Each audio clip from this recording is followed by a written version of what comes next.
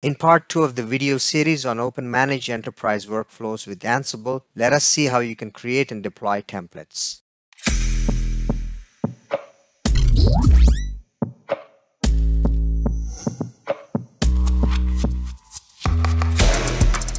See the links above to watch other videos in this OpenManage Enterprise with Ansible series.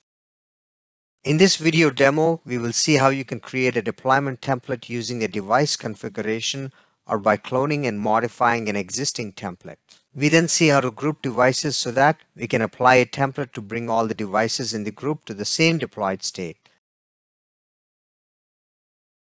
Let us start with getting the details of a template using the template info module. Once we save the output in a variable using the register command, we can print its content and you can see how GitHub Copilot is suggesting the step and the code to do just that.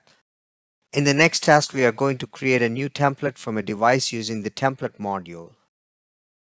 When we run this playbook, we first see that the template details are printed and then the new template creation process starts. Once complete, we can check the details of the new template. Now let's create a template by cloning an existing template and then modify some of its attributes. To use an empty template as my starting point, I created a template in two steps. First using just the iDRAC attributes from a device and then modifying it further to remove all attributes.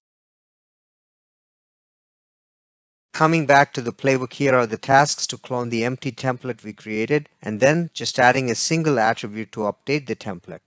In this case, we are using the email address attribute that is used to send alerts. By doing this way, I can be sure that my deployment is causing no change other than the email attribute change.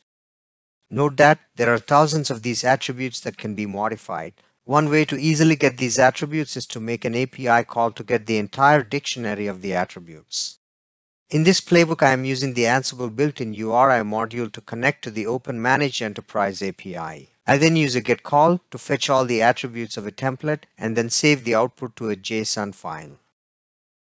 I run this playbook and we can see that the API connection is successful, the attribute details are queried and written to a JSON file.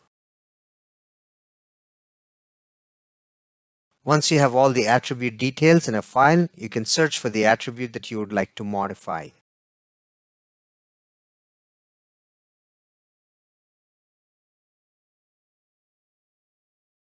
You can also use a simple Python script to extract the attribute names programmatically so that you don't have to manually search the file for the attribute details.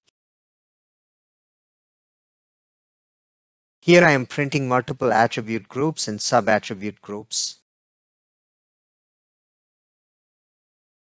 Returning to our main template playbook, let us run the playbook to create the new template with the email attribute change.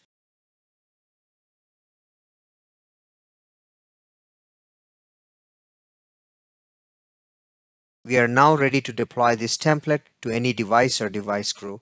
Here I am using the device group that I already created. I run the playbook again which should basically result in changing the alert email address of all of them.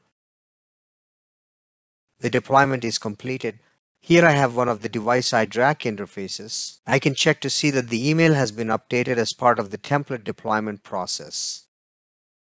Thank you for watching the demo.